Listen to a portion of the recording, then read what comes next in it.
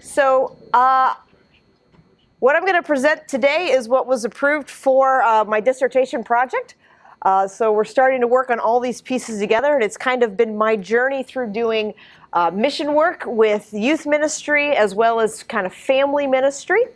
So, I want to start out with this. Uh, raise your hand if you've ever been on a mission trip. Uh, yeah, there's everybody, right? I'm curious, how many went on a mission trip like with an organization, like YouthWorks or something along those lines? Okay, so the rest of you, was it kind of just through your church? Or, okay. So, why do you do a mission trip? That's what we're going to talk about today. I'm curious. Why do we do mission trips? Okay, this is my easiest question. So if we don't answer this one, it's going to be a really long one. I would like answers. Why do a mission trip? So I actually was talking with somebody this morning about this question, and so we were saying how a lot of people in today's society discusses how mission trips are not that relevant today or that hopeful. Um, but I was saying, almost honestly, it's not always effective for the community that we're trying to help. Because yeah, we're doing a lot of different projects, maybe helping with the playground or something. But like, I always see it as beneficial for the individual also to be able to step out and practice what they're ah. talking and preaching. So You're hitting onto something really good there. Yeah, yeah. Did everybody hear that? You need me to repeat it. So there's kind of some question right now about the relevancy of mission trips. You know, are they really actually helping the communities and the people that we're going to? And some of the kind of pushback of that is, well, there's also something that happens to the individual who goes on the mission trip as well. And how do we balance those two together? You're going to like this talk. Okay. yes, go ahead. I also see that there's a lot of benefit for the community when people come back, be able to explain the issues in their culture, and then other people can then have a, new, a renewed interest in the needs there to start uh, putting money to missions. Yeah, it can really be an eye-opening experience, and that's what I've had a lot as, as a youth pastor. Is my kids who have lived in very cloistered bubbles their whole lives suddenly just to interact in an environment that's very different from theirs. Yeah. Yeah, I was going to say something similar to the lines of him is students go down there into a country maybe where they don't even know the language and are expected to do something within a week. I don't think that as we define our short-term mission trips, it's really that effective. I agree that the person, the people coming out of them are changed. They've sharpened their skills. They've really seen what working for the Lord is like. Mhm. So yeah, it sounds selfish to say that you do it for you, but Yeah. that, that kind of growth I've found has been invaluable, at least in my life. Yeah, and and I've noticed there's kind of there there's almost two different things we talk about with mission trips. There's one within the United States, and then there's the idea of like an international mission trip, which is a whole nother kettle of fish.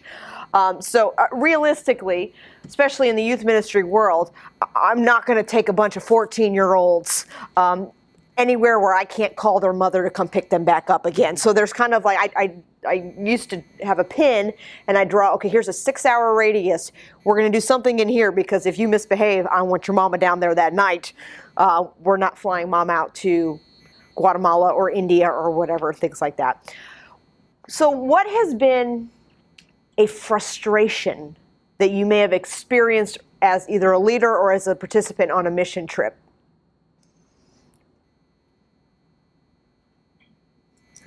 not a level of trust within the team itself.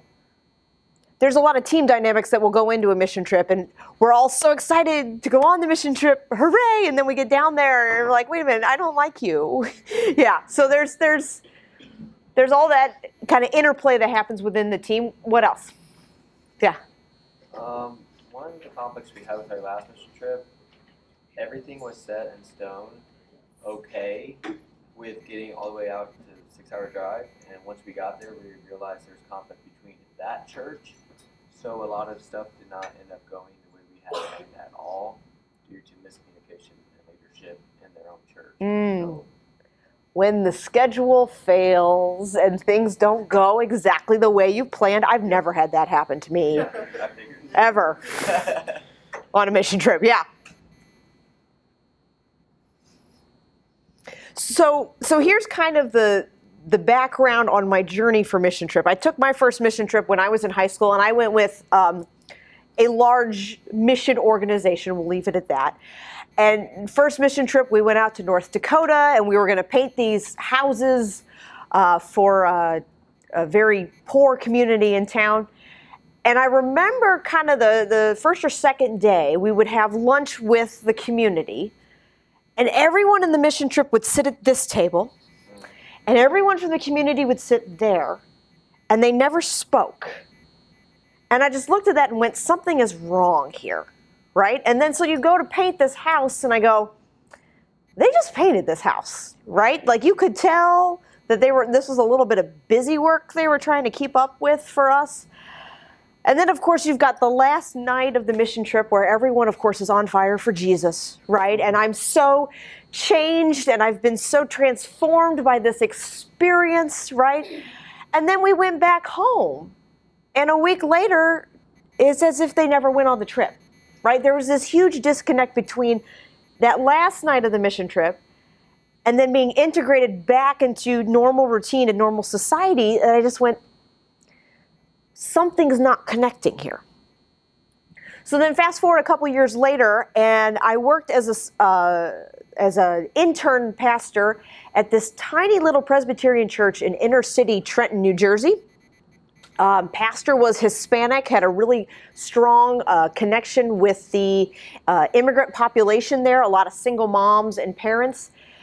So then, for a whole summer, I'm immersed in this community that has built such a strong tie with um, a specific need within Trenton and recognizing all the uniqueness that this church can offer, all these opportunities. And then, as I started my doctoral program, I was put in something called a MICA group, which is pastors from different areas come together every other month for four hours, and we talk about worship and justice and how the two come together. So I was the pastor coming from the wealthy white church, and there was literally a river, and five minutes over the river was the much more poor African American community. So watching these dynamics between like a long-term community development and listening to these pastors coming um, from Benton Harbor and their frustration with these mission trips who will come in and think that they're changing the world, and really they're just making a bigger mess for their community and their participants that they're working with. And so all of this came together, and I said, you know, I wonder if there's a better way to do mission trips. If there was a better way to support kind of that long term justice, that long term community development that I really think the church is called to, and that connection between what happens to those of us who do serve on the trip and how do we let that continue on past that last night. So, a month after the mission trip, three months after the mission trip, there's still that change, there's still that integration of what the Holy Spirit revealed. So, put all this mission stuff in one corner. We're going to jump to a whole different idea here. Do you know? Can someone tell me what is a spiritual discipline?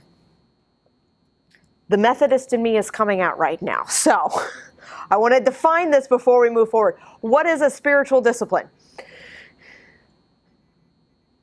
I would say something that you practice in order to grow your faith or a specific aspect of your faith.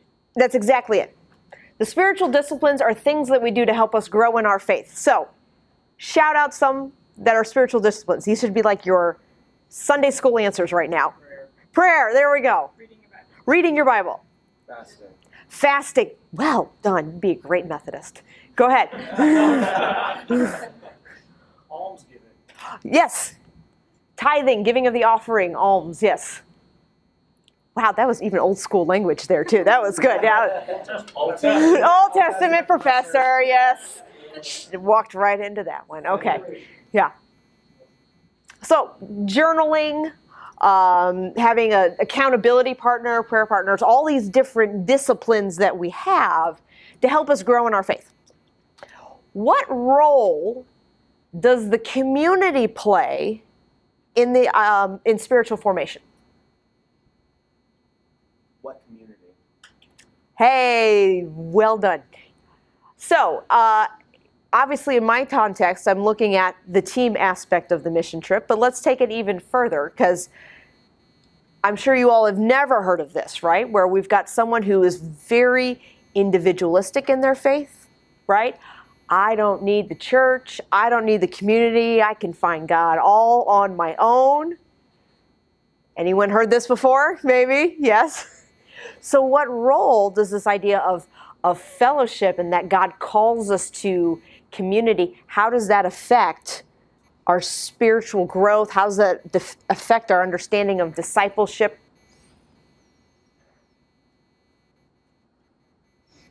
I would say, like, one of the purposes for fellowship together is just like encouraging one another and, you know, in love and good deeds. And s sometimes, like, we will get stray away from what the purpose of why we're doing ministry or why we're doing certain things. And coming together as a body of Christ, we hold each other accountable to those things and we encourage one another in the things that we should be doing. Beautiful. Just perfect. Yep. So, coming from the Methodist tradition, we believe very strongly that yes, there is an individual side where we grow closer to God, but also that God gives us the church, God gives us community as well to help us in that spiritual formation. That's why worship is so important. That's why small groups um, are so important, is that we need the other to help us discern and see where God is working in our life. So, the title of my dissertation, this is thrilling in and of itself, is Short Term Mission Trips A Wesleyan Theology for Service and Lifelong Spiritual Formation. I'll give you a dollar if you can repeat that back right now because I don't even have it memorized. It's on my notes. So, and the idea is what I'm trying to, to work with is seeing this very deep disconnect between serving and spiritual formation. I think I see a lot of youth pastors um, and a lot of churches are very gung ho about serving, but they're not connecting that as part of our growth as discipleship. That service is one of the spiritual disciplines of many that help us grow as disciples. So, how do we use that mission trip to develop something even greater? So, and we see this with, you know, my students come back and I am so excited because I built that picnic bench. I said, okay, and what did you learn about God? Well, I built a picnic bench. I'm like, yes, but we're not just building things, we're not just painting. There is this spiritual side to it. And how do we translate that so that when you come home, you live differently and how you see your relationships and your time, your giving, all of that, even as a teenager. So, my theory is if spiritual formation and service both happen in community, right? We don't really do these isolated. How do I use the community of the short term mission trip to develop some of these spiritual disciplines and then have that accountability so they continue after the mission trip? It's a great theory. We're going to see if it actually works. That's going to be the dissertation. But what I'm implying with that theologically is what I'm saying is that the mission trip is not a vacation. Anybody hear that one? I'm going to go on a mission trip this summer and we're going to go sit on the beach. No, no, no. Mission trip is not a vacation. It's foundational to who we are as disciples. And there's a difference between going on a mission trip as the Savior complex. Have you heard of this? Where I'm going to go in and boy, I'm going to help you. I'm going to fix this problem as opposed to coming in and partnering with existing ministries that are already there who have built these relationships, who know the deeper needs of the community and to start forming these long-term relationships and how do we do that? So, anybody see the movie Oh Brother Where Art Thou? Okay, well that's your first homework. But what I'm going to do next is it's called I'm going to give you my bona fides.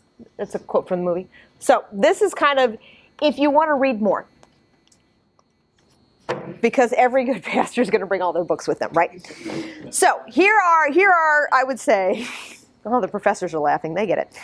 The books that I'm using to kind of put this together. Uh, raise your hand if you're a fan of Dietrich Bonhoeffer. You should all raise your hands right now. Shame on you if you're not. All right. Dietrich Bonhoeffer's Life Together is an excellent work that he wrote for his seminary students at Finkenwalde, just talking about what does it mean to be in community and how do we worship together, how do we pray together, all of that. So he's a good one. Richard Foster's Celebration of the Disciplines. It's just kind of your basic go to guide on the disciplines of fasting, giving, prayer, all of that. Um, study, solitude, submission, confession. So I've got that one. And then this one is kind of a newer one that's come out called Almost Christian by Kenda Dean. Um, I like this one because this is bringing in all of the research we're finding about youth ministry and how our teenagers not only articulate faith, but what that means in terms of how that's going to shape the church overall. Because I think what our teenagers our teenagers are kind of the marker of where we are as a church. So as our teenagers say, "This is what God is to me," for me, it's almost like a thermometer saying, "Okay, this is where the church is right now, and this is where the church is going." So a lot of the research on how do we help our teenagers actually grow in faith. So that's kind of the Christian formation side. Then the missional side of it, uh, Sticky Faith Service Guide and Kara Powell just write down Sticky Faith because there'll be about 15 books that go with that one. I love this stuff because the whole idea behind this research that they're doing out of Fuller is how do you make a faith that sticks past high school, right? Because all our kids are in youth group through high school, and then they go to college, and then what? They, they don't they don't connect with the church. They don't stay with their faith and stuff, and they usually come back when they have kids. Except people are waiting longer and longer to have kids or they're not having kids. So now you've got this whole generation that's kind of well i went to church in high school but so she wrote this starting to talk about moving students from mission trips to missional living. And how do we take the mission trip and start to move our students from just going on a trip to seeing that this is a whole different way of how we live and act. So there's that one. Uh, kind of one of the foundational books in missions is The Open Secret by Lesslie Newbigin. Good stuff. Introduction to the Theology of Mission. Um, when you read it and you feel smarter afterwards, that's when you know it's a good book. So that's just kind of Missions 101. This one just came out, uh, and I'm pretty excited about it. One of the professors at Northern Seminary. It's called Faithful Presence Seven Disciplines That Shape the Church for Mission. And what I like about it is where they're starting is if you want to get the church focused on mission, they're starting with the spiritual formation side of it. So bringing back together this idea of of the, the sacraments that's uh, baptism and communion, bringing back prayer, worship. This is what is going to be our foundation for how we view and um, see our mission work. So, excuse me, I'm not dying. I don't think. I can't. It's Holy Week. I'm way too busy. So, um, all good uh, Bible college students have their Bibles, right? This is the test of the lecture. Let's see, everybody's got. You know, you could just pull out your phone I wouldn't know any difference and just tell me that your Bible's on your phone. So, this is kind of the theological foundation of why I think we need to make this move and how we do mission trips with our students. So, who wants to look up the first one? Don't ever. Okay, can you look up for me Mark 6, 7, and 8? Mark chapter 6, verses 7 and 8. I'm curious, what translation you working out of there? Oh, okay. You want to know something about a person? You figure out what their translation is because everyone's got a favorite. Oh, I would use ESV. Okay, that's okay. Don't don't worry. It's er, everybody. Okay, don't. We don't need to open that can of worms. No, no, no, no, no. Because you know what? I'm the heathen in here. I got a message translation. So I mean, I. That's why I said you probably should have like vetted me better before you invited me to come talk. Because. Okay, Mark chapter six, verses seven to eight. Nice and loud. And he called the twelve and began to send them out two by two, and gave them authority over the unclean spirits. He charged them to take nothing for the journey except a staff, no bread, no bag, no money in their belts. Okay, so what does that have anything to do with the mission trip? Did you catch the key part there? Okay, he sent them out with nothing. And a lot of times when we do mission work, we feel like we're out there with just nothing. Read the first line one more time. And he called the twelve and began to send them out two by two. Stop. What's the key there? The two by two, it's a community, right? Jesus never sent them out alone. The idea that there's supposed to be this partnership, there's supposed to be this community in it. So Jesus is setting up this model for us for missions that involves more than one. Okay? Uh, who else wants to read? Who's next? You ready? Don't tell your professors we're only doing two verses of this. Yes, we should probably do a full exegesis in the original Greek, but for time's sake, we're just going to read a couple of verses. So, all right, you ready? I need Luke chapter 10, verses 1 to 2. It should sound really similar.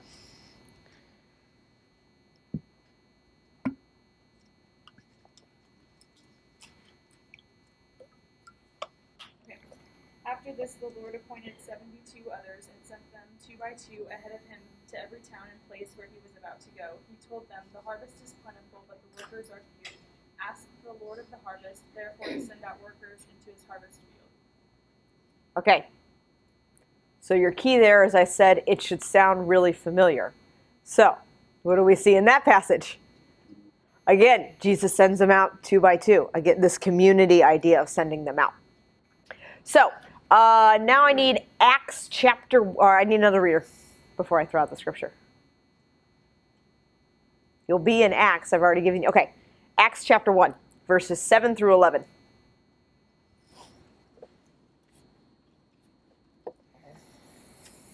He said to them, It is not for you to know times or epochs which the Father has fixed by his own authority. But you will receive power when the Holy Spirit has come upon you, and you shall be my witnesses both in Jerusalem and in all Judea and Samaria, even to the remotest parts of the earth. And after he had said these things, he was lifted up while they were looking on, and the crowd received him out of their sight. And as they were gazing intently into the sky while he was going, behold, two men in the white clothing stood beside them. They said, Men of Galilee, why do you stand looking into the sky? This Jesus who has been taken up from you into heaven will come in just the same way as you have watched him. So, our Pentecost scripture, we hear every year at Pentecost. What does that have to do with missions?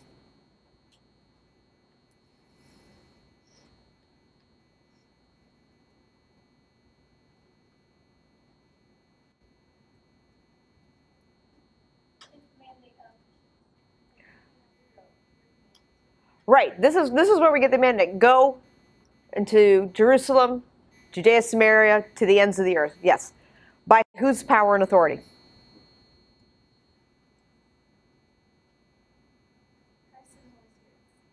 Yes, this is the third part of the Trinity, right? This is the Holy Spirit. So it tells us that is the mission trip a vacation?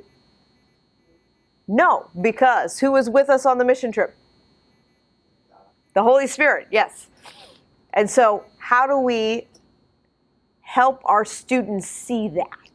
How do we help them see that this is not just a week long thing that we do fulfilling tasks, but instead this is foundational to how the Spirit shapes us for this new way of living? So that's kind of the Christological model. That's Jesus' model for setting up. Now we're going to switch over to my buddy, uh, the Apostle Paul. I need uh, one more reader.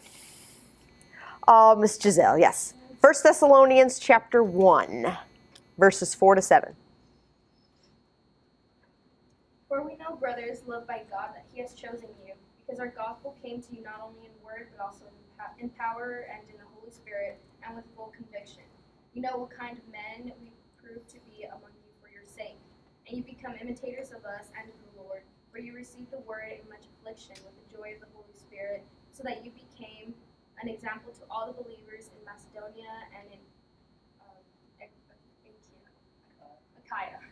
Your professor's sitting right there. You can ask him. That would be safer. well, that's New Testament. Never mind. It's it's not in Hebrew. Then it's never. So, kind of looking at that's just a kind of sample text of Paul's whole letter to the church in Thessaloniki.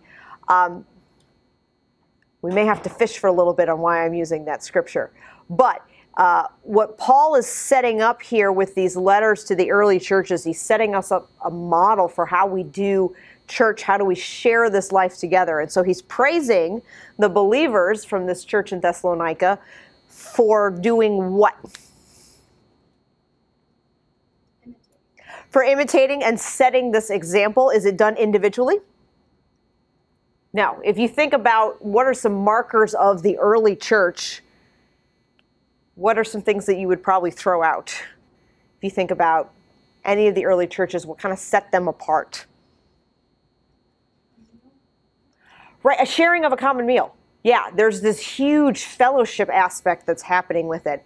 Not only with the meal, take that a couple steps further. What about with the property and the resources, right? It's this shared life together in community, and it's that life together that lets them be a witness that impacts some of the other churches in the area, and that's what Paul is lifting up at this point.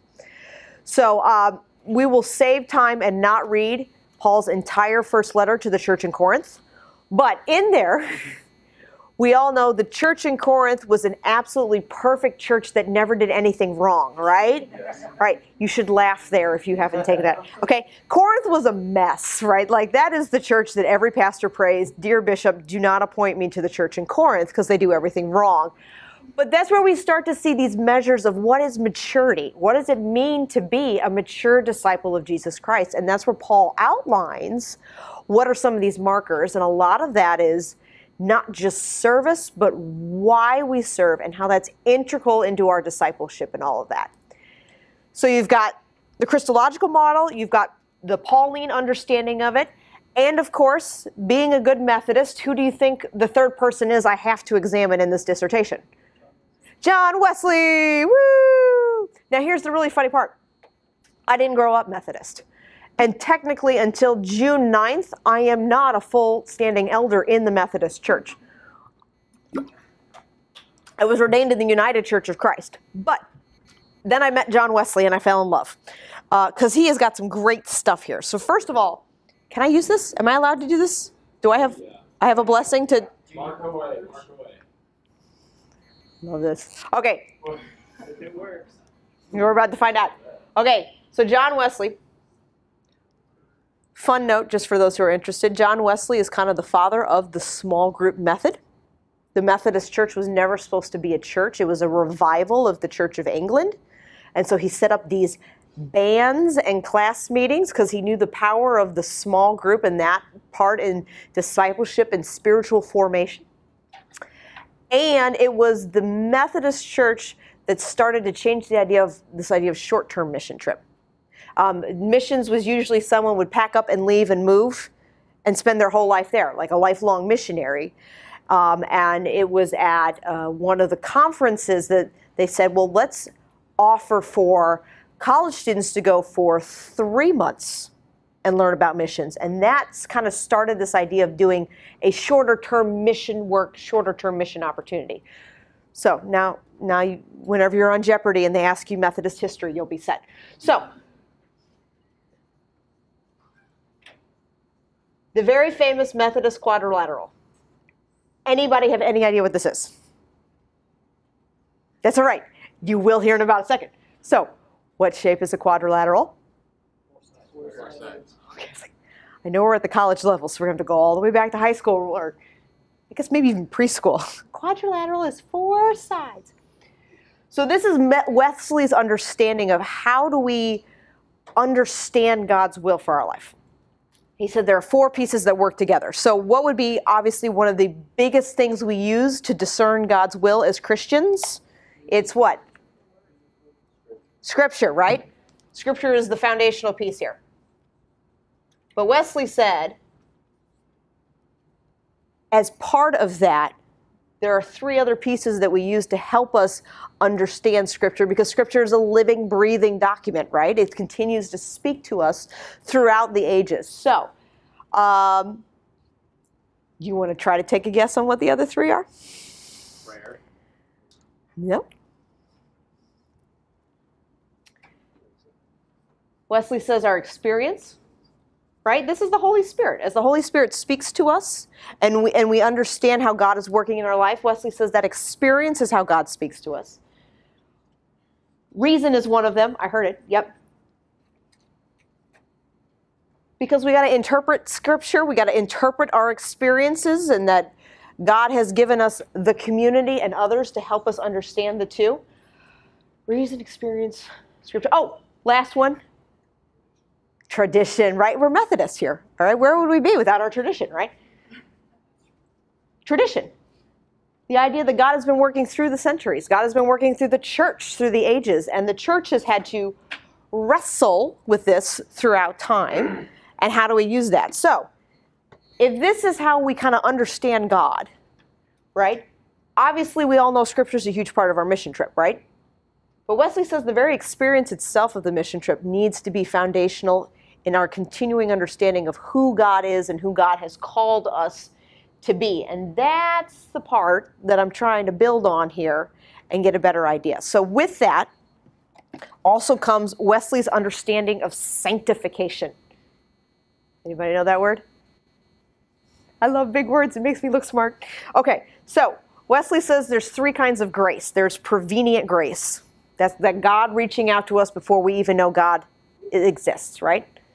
Then you've got the justifying grace. That's the moment we accept Christ as our Savior, we're washed in the blood, and now we are right with God. That, that moment of choice. Wesley says that's the start.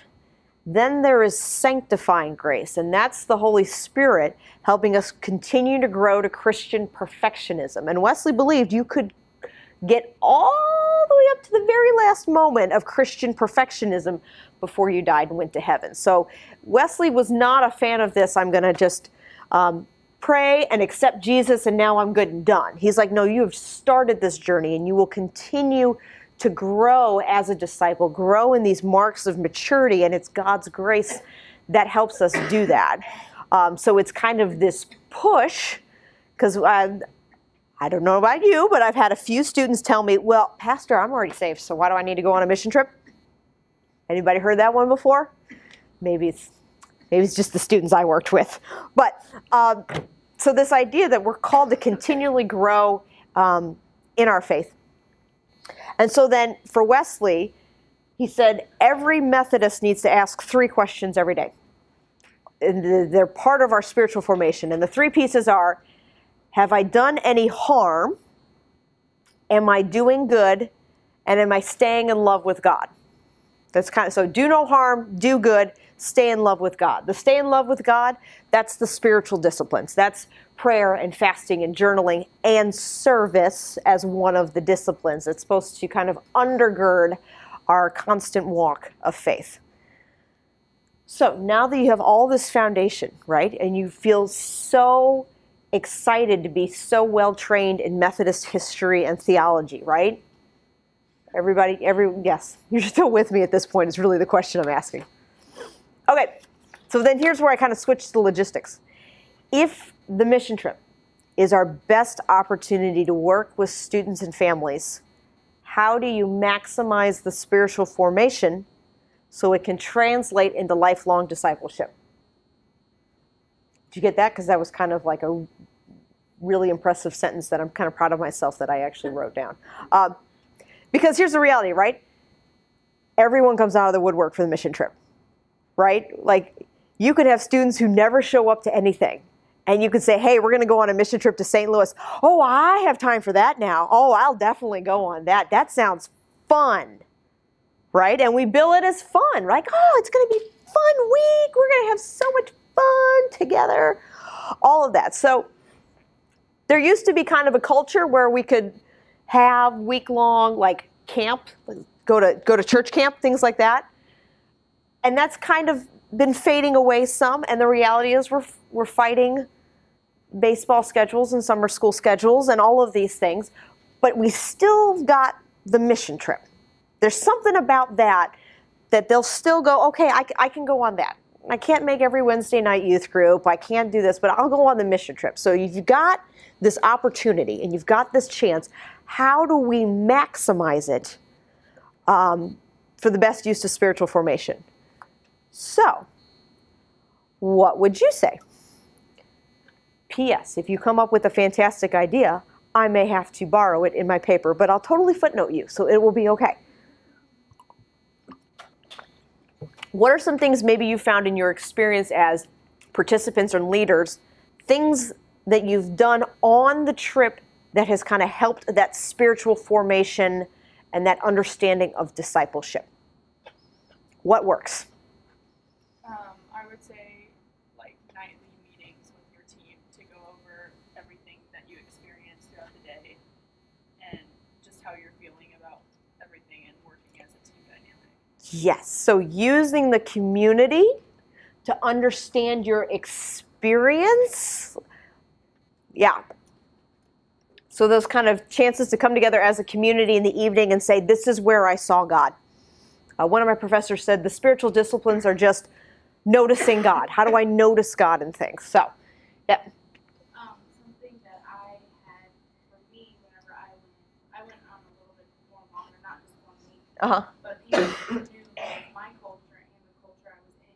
We had a weekly like debrief meeting to where, or even like sometimes in the moment where they say, "Hey, what do you think about this when it happened?" Because that was totally cultural, and so then it, they kind of showed me things that you know I thought maybe people were being rude or it was a personality thing Mm-hmm. but when really it was just a cultural thing. So having another person that knows both, um, the ins and outs of both was really, really helpful. Right.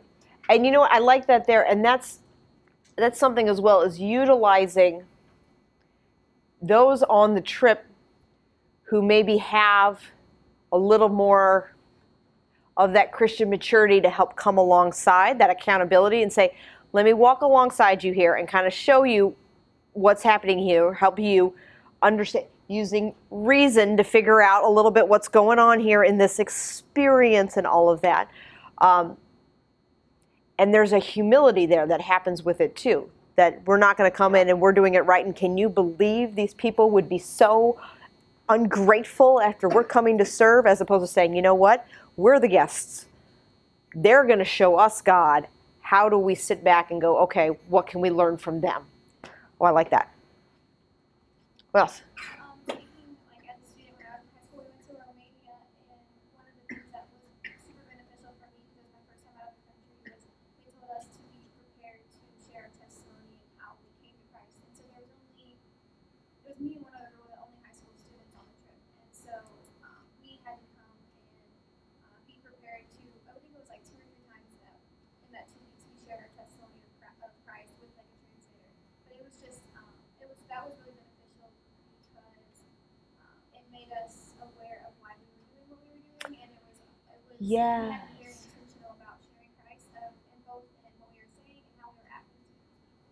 Yes.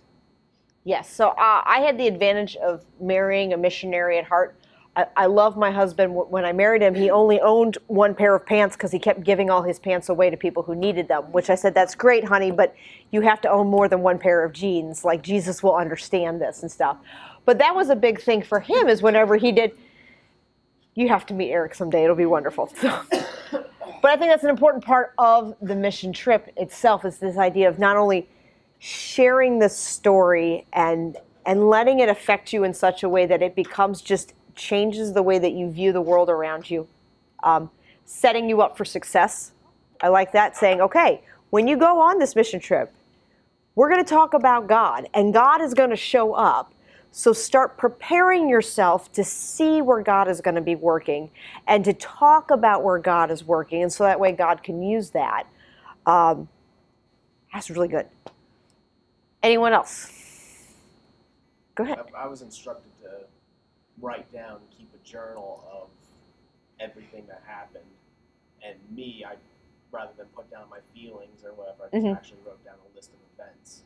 His reasoning behind that was the feelings, the memories will fade eventually from your mind, but as long as you keep that journal and you keep it well enough, you'll be able to. You'll be able to You all are such good Methodists, and you don't even know it yet. I'm loving this. right. So this kind of the the the history of the event. Let me ask: How many people really like to journal? You are a rare breed, and I'm very proud of you. Like. It never really worked for. It, that's one I struggle with and stuff. But I like that to write down. You know, this is what God revealed to me today. Five or six words and stuff. And then to be able to go back and that kind of triggers for me what was God teaching me in that moment and stuff. So journaling, that's that one was really good. Did you have your hand up? I I think didn't realize it was like it wasn't so much about like personal thing. So I said it was it was Oh, and now I called you out on the spot and it's awkward and all of that. Okay. That's great.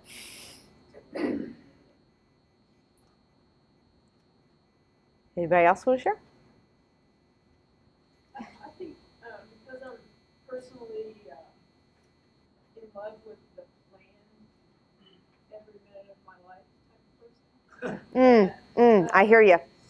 One mission trip I went that was especially um, memorable was that there was time to do that wasn't planned. I say to do nothing, but we did more in that space that allowed the Holy Spirit to be a part of what we were doing rather than for it to be a scheduled activity. And I found that even my kids that were with me experienced more in just having that community you're talking about with people of different cultures and being able to just hang out together was sometimes more productive than a lesson that we taught or a specific service that we performed. That that experience was much more valuable. And you have to have time for that. Yeah. We don't always make enough time in short-term mission trips. We make time as I think that really hits it on the nose is that we come in with this mindset of we have got four days to do this project. And, and this is just kind of like the story of my Christian life. Like, I have got three days until my sermon has to be done, and I've got a council meeting, and I have to meet with this person, this person. And in that desire to do for God, I forget to be with God. And that's something we really got to teach our students because that is a very cr- against our culture right now. Like our students are really taught you are your worth is based on what are your grades? What are you uh, activities? What can you accomplish? And so to try to teach them to say, you know, the Christian faith and discipleship, it is not about what we bring to God. It is stopping to find where God is already there right? And that's I think a big shift with the the the kind of savior mentality when it comes to mission trip. God is already there. Right? God's spirit is already there. We're just coming to say, okay, God, how can we partner with what you're already doing? It just changes the whole focus of that mission trip. Um, so here are some of the pieces that I'm kind of putting together for all of this. Um, I've done I've done a couple of youth mission trips, and I've also done a couple of family mission trips uh, because I'm coming from the Methodist Church. And as you know, every Methodist church is just bursting with teenagers right now in our youth groups, right? Are you sensing the sarcasm in my voice here? Okay. But if you do families, then you got enough people to go on a mission trip. and what that brings into play is a lot of the research that's coming out of Sticky Faith and Kenda Dean where they're saying the greatest influence on a child's faith, do you know what it is? It's the parents, right? Youth pastors didn't even make the top five list. Like, you want the most humbling thing ever to slap you in the face? It is the parents that are having the most influence on a student's faith. How much more powerful and how much longer impact after the mission trip could happen if, as family units, and notice I'm saying units there because we recognize not all of our students are coming from incredibly stable homes now and stuff, but to have some of these older adult figures along, not just because they have to chaperone and we have to do, you know, the keeping our kids safe policy or whatever your church calls it, but this idea that we are in this community and to build these relationships that's going to help with that accountability afterwards to have these people following up going, man, I remember how great you did on the mission trip, and I remember you were struggling with this in prayer. Now that you're back in school, how are you doing that? You know, to have that kind of deep relationship to help our students with that. So, throwing that all together, I brought, just in case you're interested, this is Pastor Katie's family mission trip covenant that I wrote up that everyone has to sign before they're allowed to go on the mission trip. So, first of all, one of the things to do when I do a mission trip, I always partner with an organization that's already on the ground. I don't like going through some of the, the big parachurch organizations. Um, the advantage of, of, of being in a denomination like the Methodist Church is there's already kind of things already set up for me. So there are specific mission groups. We're going to go to St. Louis this summer that have been in that community in St. Louis for a very long time and they know the stories. They know the actual needs and addressing what's going on. Um, so we're going to go this summer to Neighborhood Houses, which is in North St. Louis. And they know one of the big problems they have there is they've got a lot of moms, young moms, single moms, who want to go to work, but they can't afford daycare and they can't afford preschool. That was one I remember the biggest eye-opening events for one of my uh, teenagers one year is they said, "What do you mean you have to pay for preschool?" I said, "Yeah, preschool's not free. You have to pay for preschool." And if your kid doesn't go to preschool, then they're not set up well for kindergarten. And if they're not set up well for kindergarten, thus begins, you know, this this thing. And it just kind of blew his mind because his mom just bought him a car for his birthday. You know, I have never seen this culture before and stuff. So that's a need that they had recognized as they've got a lot of moms that are working that need this assistance um, with their kids. And so they put together a, a nonprofit that is preparing these children for preschool. And so we just go in and I say, you send me a list of what you need. Whatever you need, we're just going to come help what you're already doing. So they'll send me the list and they'll say, well, you know what, this classroom has not been painted. Uh, we need outdoor picnic tables built because our kids like to play and eat outside and they have nowhere to sit. And so I say, okay, so our whole fundraising goal is just raising the money for these supplies. Um, and so I usually do uh, ask people in the congregation. I said the best gift you can give us is Home Depot gift cards because they're so easy to go to Home Depot. You can buy everything at Home Depot. So these are the rules that they have to agree to before they can go on. Not rules, the covenant they have to agree to before we go on a mission trip. I recognize the importance of building team unity, and I agree to participate in the pre-trip meetings. And what I have before we go on the mission trip, we have a retreat for like three or four hours as a team. And we start talking about praying for the mission site we're going on. They start their journal that has some questions talking about how are you going to look for God this week? How what are some things you're wrestling with with God right now? So to start preparing them to see that this is there's going to be spiritual formation happening on this. Um, and then you've got all of your, you know, bona fides you have to do. My body is a temple of the Holy Spirit, and I will not harm it with alcohol or drugs. I will set an example to all the people I interact with, especially the leaders of neighborhood houses, to treat them with respect and dignity, and those who have a position of leadership over me. Uh, I'm sure you all have never had this problem. There may be times during the trip that I will be tired, crabby, or asked to do something I don't feel like doing.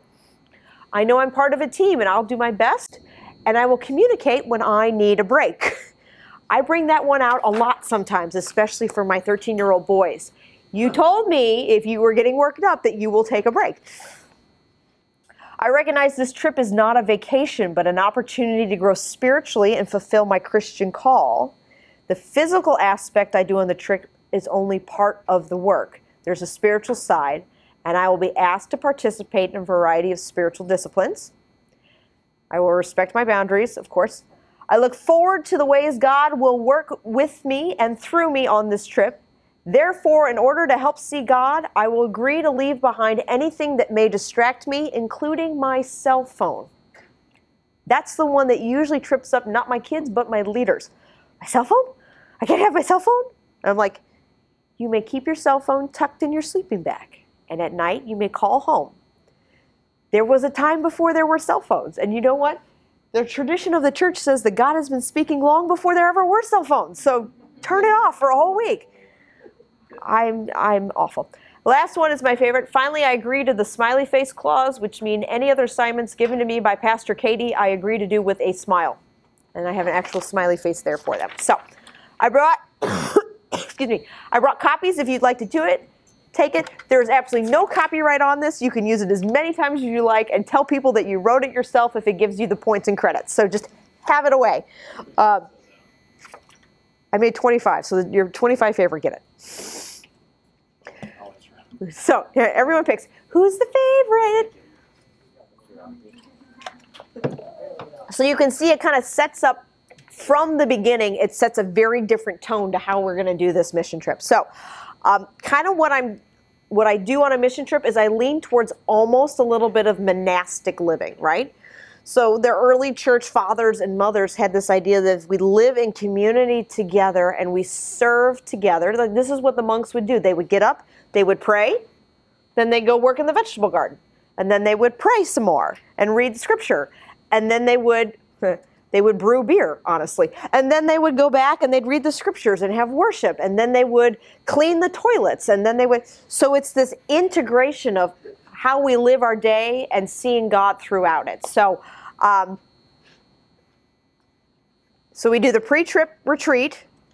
Then on the day of us leaving, we in worship, we have this commissioning service, and everyone on my trip picks a prayer partner from the church that is not going on the trip. Why do you think I do that? Right. So we're connecting not only the mission trip to the rest of the church, because then I have got an immediate follow up as soon as they come back from the mission trip. Someone's going, okay, how did you see God on this trip? Right? And I'm going to take you out to lunch. Tell me what you learned about God. How did you grow?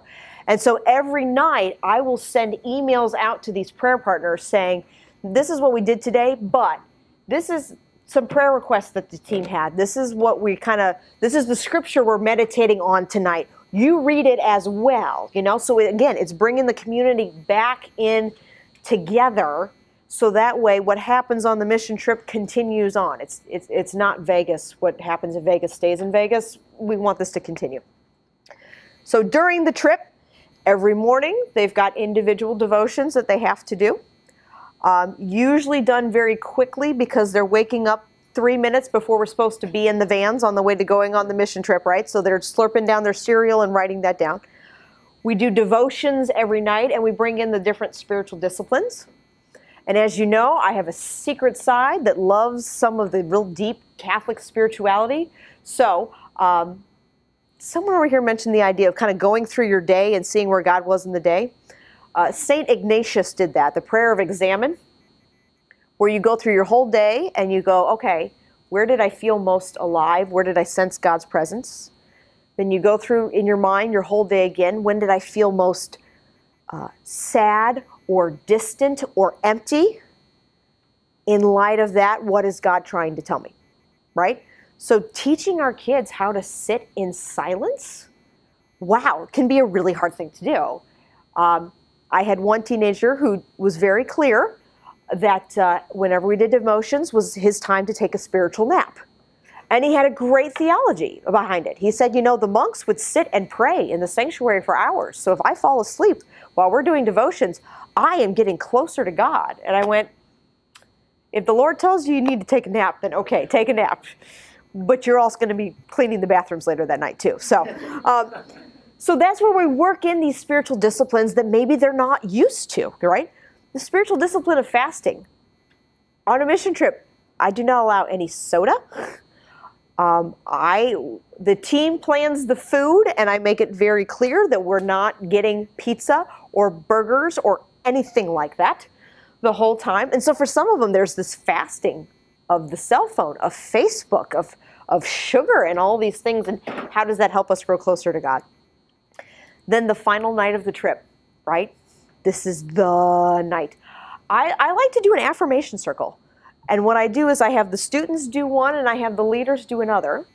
And what you do is you put one person in the middle, and everyone has to go around and they say, This is how you help me grow in my faith, right? So it's not just, I like you because you're funny, right? But this is a time where I saw God use you. This was a time where I felt like uh, you helped me understand God. This is a time I appreciated that you prayed for me, things like that. And then after the retreat, after the mission trip. This is, I think, our biggest opportunity that usually gets left out is that we come home from the mission trip, right? And we have like you put the pictures up on Sunday morning, and everyone goes, "Oh, they went on a mission trip. That's great." And then we don't talk about it again until next April when we're doing the next one. So to have a follow-up retreat a couple weeks later to go, okay, you're back now in your routine. You're back in the world of of school and soccer and all of this stuff. How is your faith now? And to go back into that community that you've built a relationship with and say, you know, you spent a week working with uh, the least of these according to Scripture. How has that changed the way that you use your paycheck from working at Dairy Queen? How has this changed the way that you view the outcasts at in the cafeteria? How are you translating that? And that's what we use the prayer partners for as well. So now you have all my secrets. You'll go do the world's greatest mission trip ever, I'm sure. Um, but this is a chance we want to open up for some Q&A and to have some pushback and talk about some things. This is where someone who's in charge is going to nod and tell me I'm doing this right. Yes, that's what we're supposed Okay. So, this is your chance to grill me on almost anything. I can't tell you why the Cardinals are having trouble right now against the Cubs, but we can pray about that afterwards if we need to. Um, so, yes. Is your, uh, is your project an experimental study or is it theoretical? it is the goal of my dissertation is to create a curriculum that can be used in any church that says from start to finish how do we kind of do this new understanding of how to do mission trips so rather than say the church okay you got to take your kids on a mission trip sign up with this organization you go and it's done but to say how do you integrate this more into how you do your youth ministry so i have to create something that's reproducible so to that end the mission trip they're going on this summer is while I'm on maternity leave. I won't be there. so we're really going to see if this works or not without me. Um, it's my associate pastor's not too happy about that. She's like, "You planned a what for while you're gone?" And I was like, "By the way, you're leading it. Let me know how it goes." Um, so that's that's the goal is to kind of like create a, a start to finish packet that I will hand off to my bishop and say, "Give to whoever wants it." So, yes. Um, when you go on these mission trips, do you have like criteria for the kids that are allowed to go on mission trips? Like, do they have to be Christians already, or do they have to have certain spiritual Mm, mm.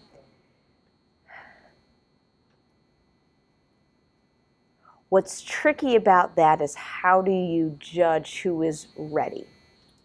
Because I've seen a lot of kids who I thought, really, you're going to go? And they're the ones who God transforms the most. So, kind of my beginner level kind of requirements. Uh, one is a legal one. And so I say you got to be at least eight years old to go on the trip.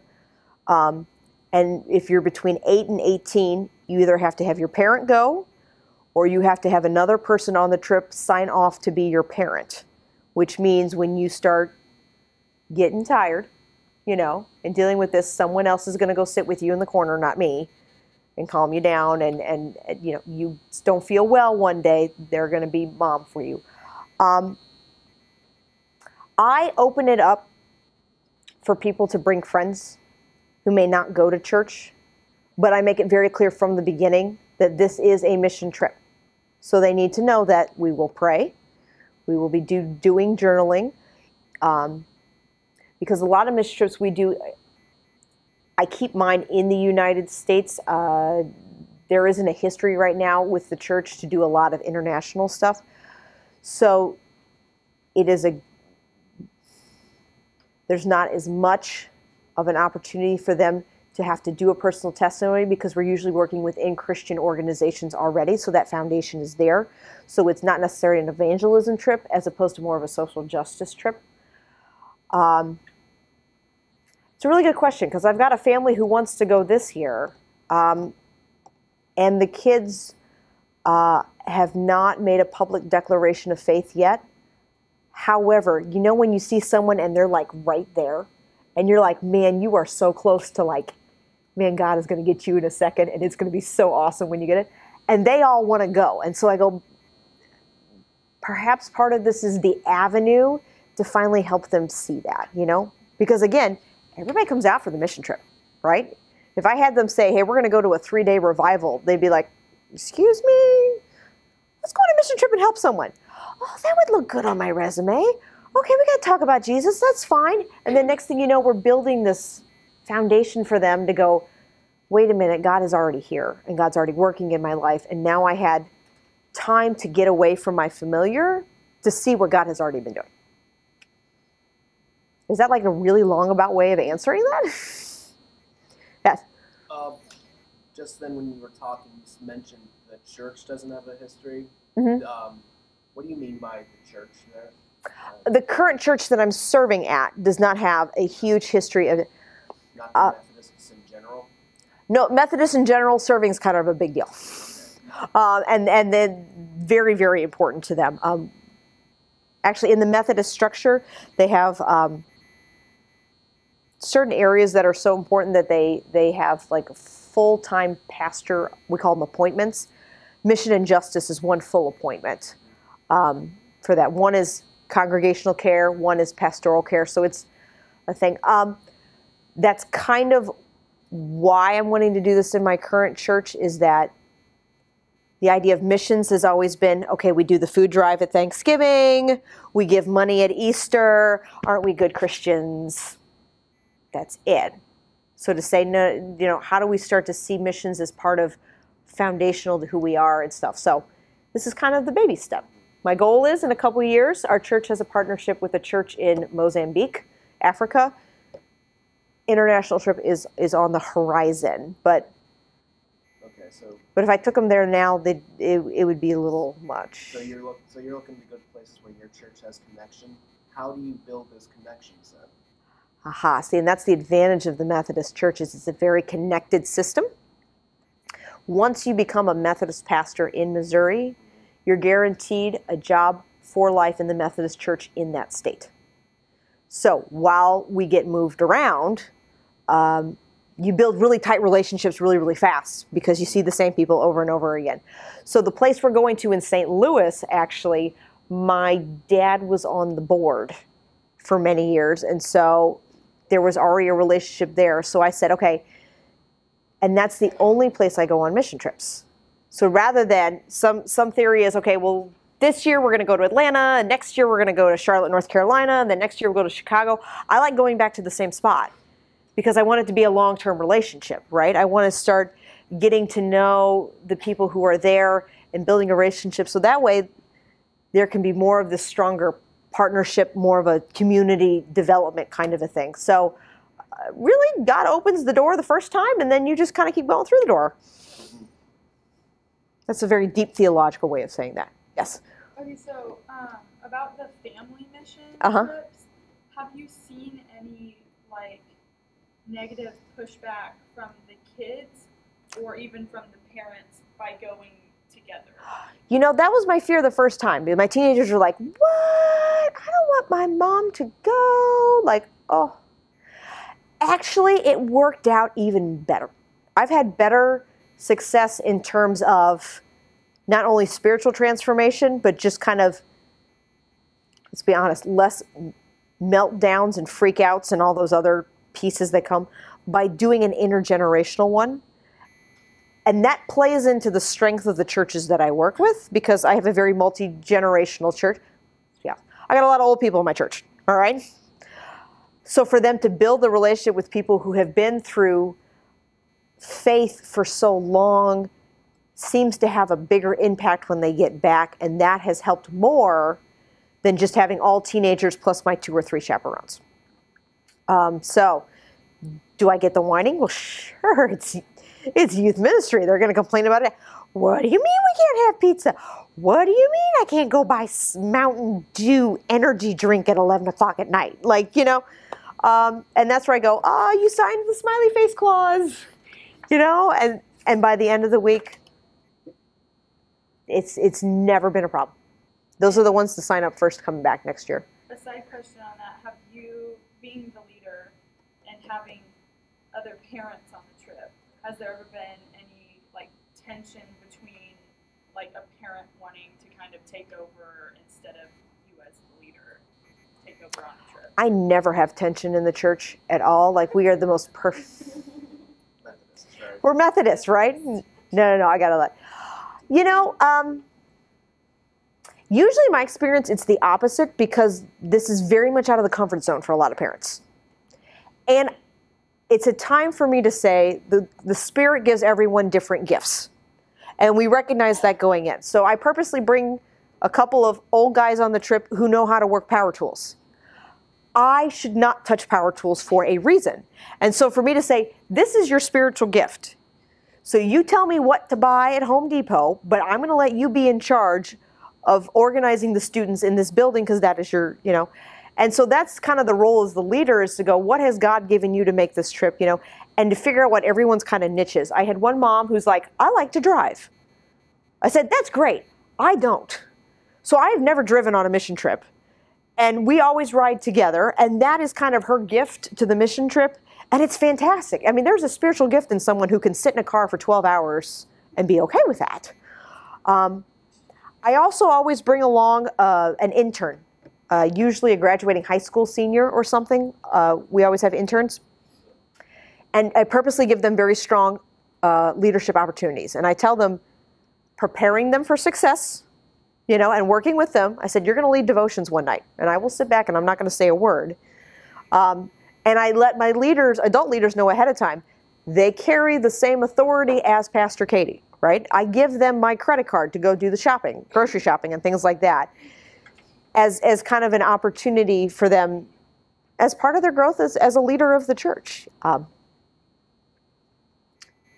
so, yeah, you ever want to talk specifics, we'll go do coffee because I've heard stories. I've never had them myself, but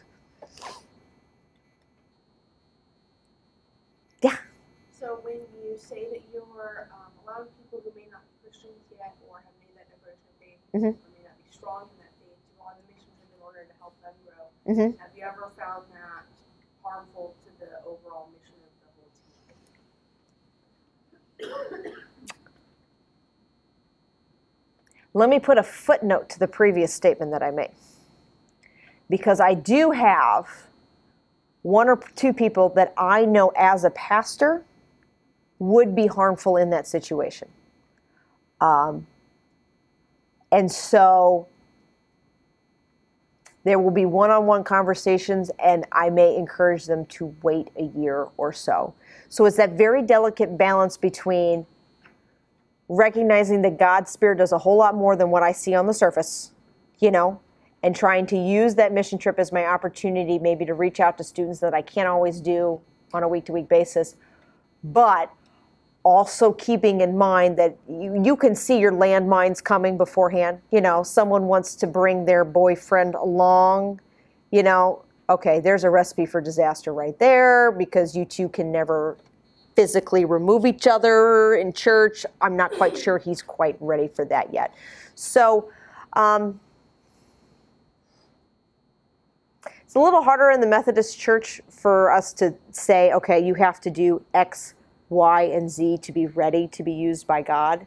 Um, and that's where the I mean, I wouldn't put these people like as leadership of my church board, and I wouldn't have them preach on Sunday. Um, like there, there are some levels there for that kind of leadership that we that we do say is important and stuff. But I say if you've got a heart to give up a week and paint a room and talk about Jesus, come along and let's see what God's going to do.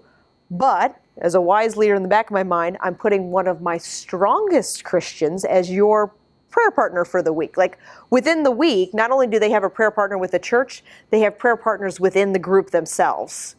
You know, I'm pretty strategic who I plan with who, you know, to say, okay, if maybe you are not a stronger Christian, I'm going to put you with the grandma who's been singing church hymns her whole life and could recite the entire New Testament to you, that's going to be your buddy for the week. And, and we're going to let her talk with you some about Jesus the whole time and stuff like that. So it's, it's using a little bit of that reason and experience to try to just set your group up for success, but then leaving room for who knows what God's going to do. Does that help a little bit? Okay. Sometimes I feel like I just go in circles and circles and circles. This is usually the point where someone in my congregation does this kind of thing and then wrap it up, Pastor. We're ready to go to lunch now.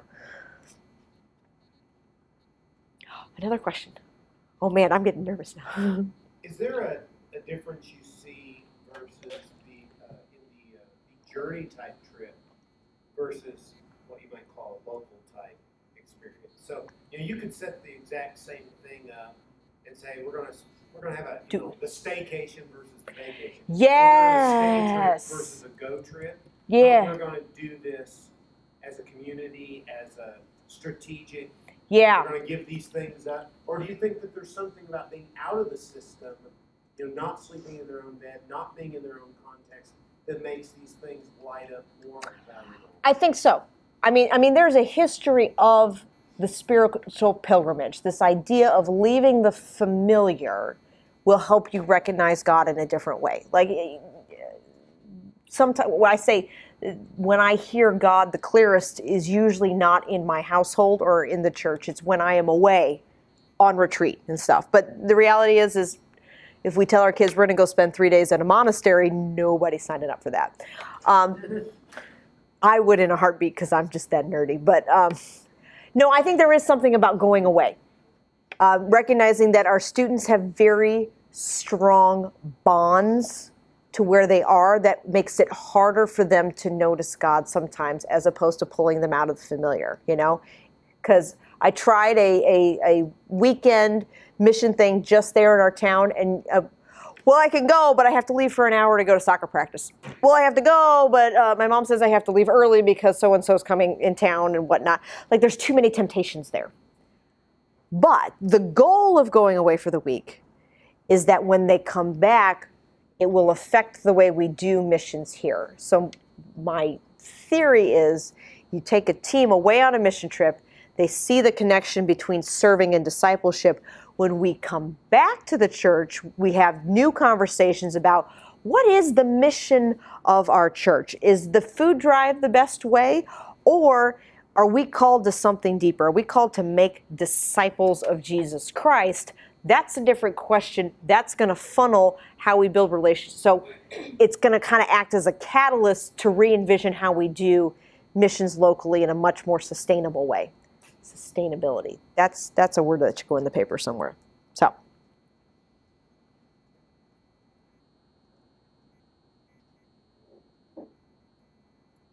Are you all just so full of knowledge right now and you're so excited? You're like, I am ready for mission trips this summer.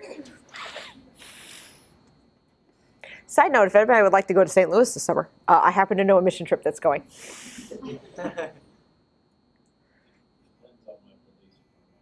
Yeah. Looking at that covenant, you're not so sure about the smiley face clause, right? It covers a multitude of sins, I say.